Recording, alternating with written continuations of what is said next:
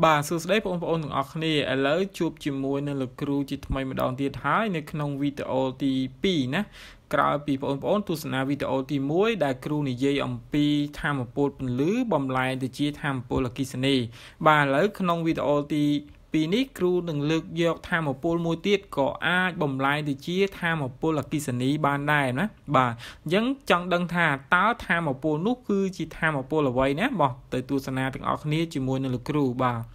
បាទអញ្ចឹងធម្មពលដែលយើងអាចបំលែងទៅជាធម្មពលអគិសនីបាននោះគឺធម្មពលមេកាមេកានិក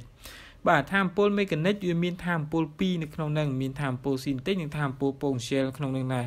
បាទអញ្ចឹងគ្រូចង់បញ្ជាក់ឲ្យងាយយល់បន្តិចតកតមួយធម្មពលមេកានិកឲ្យតែមានចលនាណាយើងចាំឲ្យតែមានចលនាគឺមានធម្មពលមេកានិកហើយបាទដូចជាកង់វិលបាទដូចជាយើងទំពាបាយហ្នឹងក៏ជាធម្មពលមេកានិកផងដែរបាទអញ្ចឹងធម្មពលមេកានិកហ្នឹងគឺគ្រូយកពីធម្មពលខ្យល់ អញ្ចឹងធម្មពលខ្យល់អាចបំលែងទៅជាធម្មពលអគិសនីបានយ៉ាងដូចម្ដេចណាតោះទៅមើលខ្លឹមសារឲ្យកាន់តែច្បាស់ជាមួយនឹងលោកគ្រូណាបាទអញ្ចឹងធម្មពលខ្យល់ហ្នឹងនេះយើងមើលរូបនេះសិនចាំគ្រូបញ្ជាក់តាមក្រោយរូបនេះគឺជាកង្ហាលបាទកង្ហាលខ្យល់ណាកង្ហាលនេះមិនមែនវិលដោយសារយើងផ្ដាល់ចរន្តឲ្យវាទៅវាវិលទេកង្ហាលនេះគឺត្រូវខ្យល់ទើបវាវិលបាទអញ្ចឹងធម្មពលខ្យល់ដែលបក់ឲ្យកង្ហាលវិលឃើញទេអញ្ចឹងពេលដែលខ្យល់មករួចមកធ្វើឲ្យកង្ហាលនេះវិល បាទរួចក៏បង្វិលទូប៊ីនអញ្ចឹងទូប៊ីនគ្រូដាក់នៅក្នុងហ្នឹងណាអូមិនមែនគ្រូដាក់ទេសំទោសបាទទូប៊ីនគេដាក់នៅក្នុងហ្នឹងបាទដាក់នៅក្នុងអាដុំនេះបាទពេលដែលវាវិលហើយក៏បង្កើតបានទៅជាធម្មពលអគិសនីអញ្ចឹងទូប៊ីនហ្នឹងជាអីម៉ាទូប៊ីនហ្នឹងវាមានអីក្នុងហ្នឹងបាទអានេះគឺគេហៅថាយើងអាចហៅថា dynamo dynamo គឺបំលែងពីធម្មពលមេកានិកទៅជាធម្មពលបាទ អគិសនីគឺ dynamo ហ្នឹងហើយពីព្រោះអីនៅពេលដែលក្បាល dynamo ហ្នឹងគេហៅ turbine ក្បាល turbine ហ្នឹងវិលទៅពេលដែល turbine វិលហ្នឹងបង្កើតបានទៅជាចរន្តអគិសនីកើតឡើងណាបាទអញ្ចឹងគេយកអា turbine ហ្នឹងដាក់នៅខាងក្នុងនេះបាទយើងហៅថា dynamo នេះក្បាលរបស់វាហ្នឹងភ្ជាប់ជាមួយនឹងកង្ហារដូចរូបខណាបាទអញ្ចឹងនៅពេលដែលកង្ហារនឹងវិលកង្ហារនឹងវិលទៅធ្វើឲ្យស្ពឺខាងក្នុងនេះបានវិលដែរវិល បាទរួចហើយធ្វើឲ្យក្បាល dynamo ហ្នឹងក៏វិលដែរបង្កើតបានទៅជាចរន្តអគិសនីដែលយើងអាចយកមកប្រើប្រាស់បានណាបាទ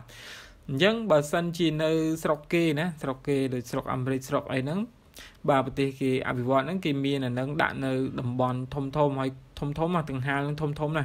ពេលដែលវិលទៅគេអាចបានធម្មពលមកវិញហើយធម្មពលនេះអត់មានប៉ះពាល់ដល់បាទបរិស្ថានទេពួកធម្មពលខ្យល់នេះណាអត់មានប៉ះពាល់ដល់បរិស្ថានទេ ដូចជាផ្សែងពុលបាទគឺសំដៅលើផ្សែងពុលតែវាក៏មានគុណវិបត្តិមួយចំនួនដែរបាទគុណវិបត្តិរបស់វាហ្នឹងគឺមានន័យថាទាំងហាលកាលណាវាត្រូវខ្យល់វាវិលដូចទាំងហាលយើងអញ្ចឹងកាលណាវាវិលវាលឺសហើយអញ្ចឹងបើសិនជាវាប្រភេទធំធំគេដាក់វាធំធំនៅទីវាលច្រើនណាទីវាលធំហើយច្រើន នៅតំបន់ហ្នឹងអាចនឹងប៉ះពាល់ដោយសម្លេងរំខាន បាទតែវាអត់មានជាតិពុលសម្រាប់ ប៉ះពាល់ដល់អ្នករស់នៅតំបន់ហ្នឹងទេតែគ្រាន់តែវាមានសម្លេងរំខានតែប៉ុណ្ណឹងបាទអញ្ចឹងធម្មពលបាទខ្យល់អាចបង្កើតទៅជាធម្មពលអគិសនីបាន គឺដោយរបៀបនេះណាបាទគឺដោយរបៀបនេះបាទយើងនិយាយពីធម្មពលមួយទៀតក៏អាចបំលែងទៅជាធម្មពលអគិសនីបានដែរណាបាទចំណុច2.2នេះយើងនិយាយអំពីធម្មពលទឹកជូរ បាទទឹកជោហ្នឹងមានន័យថាម៉េចបើអ្នកនៅតាមមាត់សមុទ្រធ្លាប់ឃើញហើយមាត់សមុទ្រនិងមាត់ទន្លេបាទទឹកជោហ្នឹងមានថាពេលទឹកកើនឡើងដល់ទឹកនាចហ្នឹងទឹកស្រកទៅវិញ បាទនៅឆ្នេរសមុទ្រមានរដូវទឹកពេលយប់ឡើងទឹកជោមកអញ្ចឹងទៅ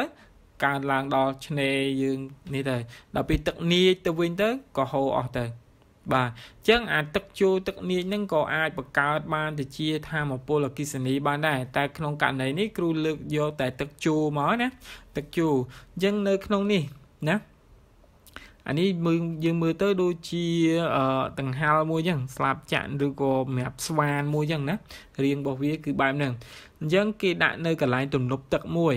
អញ្ចឹងទំនប់កន្លែងនេះអត់ទាន់មានទឹកហូរកាត់ទេ ទីច្រើនគេដាក់នៅតាមមាត់សមុទ្រអីហ្នឹងដើម្បីធ្វើជាបន្លែដើម្បីឲ្យមានទឹកជោទឹកនាចកើតឡើងបាទអញ្ចឹងកន្លែងនេះអត់មានទឹកឡើយទេណានៅពេលដែលទឹកជោឡើងមកទឹកជោឡើងមកបានហូរចូលទៅក្នុងហ្នឹងហើយធ្វើឲ្យរហាត់ខាងក្នុងនេះវិលហើយរហាត់ខាងក្នុងនេះវិលហ្នឹងគេភ្ជាប់វាជាមួយនឹង dynamo មួយ generator dynamo ឬក៏អឺគេហៅថា dynamo ហ្មងងាយយល់បើធំហ្នឹងហៅថា alternator បាទ អញ្ចឹងយើងភ្ជាប់នឹង dynamo មួយទៅទៅពេលដែលវាវិលពេលដែលវាវិលទៅធ្វើឲ្យក្បាល dynamo នេះវិលដែរបាទពេលដែលក្បាល dynamo វិលបានបំលែងទៅជាបានធ្វើឲ្យធម្មពលមេកានិកនឹងបំលែងទៅជាធម្មពលអគ្គិសនីបាន បាទអញ្ចឹងគ្រាន់តែចំនួនទឹកសោះ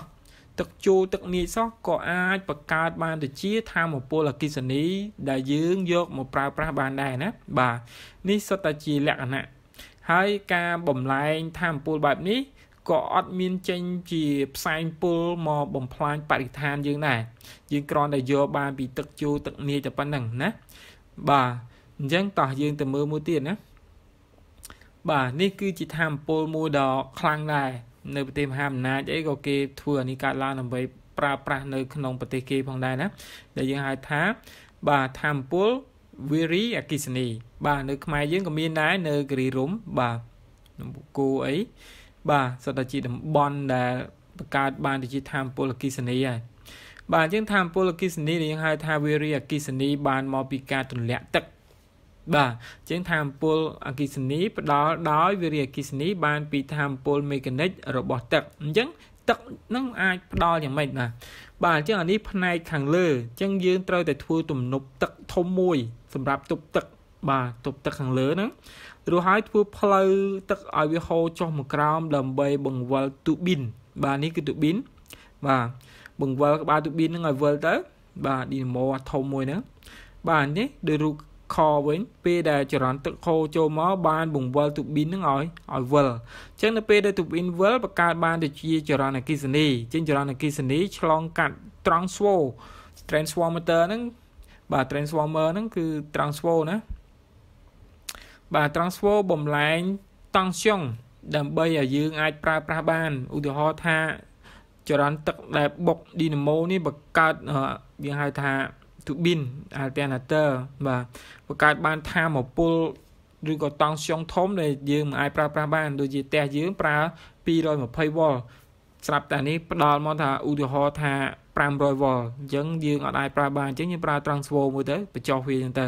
ឬក៏មួយទៀតយើងត្រូវការដឹកជញ្ជូនថាមពលអគ្គិសនីនឹងទៅឆ្ងាយឆ្ងាយ transfer នេះយើងត្រូវដំឡើងឲ្យវាខ្ពស់ពេលដែលទៅដល់តំបន់ឆ្ងាយឆ្ងាយតង់ស្យងវាចាប់ដើមចុះម្ដងទីម្ដងទីទៅទៅយើងមិនអាចប្រើប្រាស់បានអញ្ចឹងយើងប្រើ transfer ដើម្បីដំឡើងតង់ស្យងឲ្យវាខ្ពស់កើតឡើងណា បាទអញ្ចឹងនេះគឺជាការបំលែងធម្មពលទឹកឲ្យទៅជាធម្មពលអគិសនីដែលយើងប្រើធម្មពលវារីអគិវារីអគិសនី បាទអញ្ចឹងក្នុងវីដេអូទី2នេះគ្រូបង្ហាញពីធម្មពលមេកានិកណាធម្មពលមេកានិកដែលអាចបង្កើតចរន្តអគ្គិសនីបានដោយធម្មពលមេកានិកទី1នោះគឺចរន្តខ្យល់បាទយើងហៅថាខ្យល់ធម្មពលខ្យល់ទី2ធម្មពលទឹកជោនិងទី3ធម្មពលវារីអគិគិសនី បាទអញ្ចឹងដល់ជំវីដេអូទី3គ្រូនឹងនិយាយអំពីវិរិយអគិសនីនឹងបញ្ជាក់បន្ថែមទៀតនឹងមានឧទាហរណ៍ជាលំហាត់ផងដែរបាទអញ្ចឹងដូច្នេះបើសិនជាបងប្អូននៅមិនទាន់យល់តាក់ទងទៅនឹងវីដេអូទី2នេះណាបងប្អូនអាចសួរគ្រូបន្ទាប់ពីវីដេអូវីដេអូនេះចប់បាទអញ្ចឹងដូច្នេះរងចាំទស្សនាវីដេអូទី3របស់លោកគ្រូជាបន្តទៀតបាទដូច្នេះសូមអរគុណសូមជម្រាបលា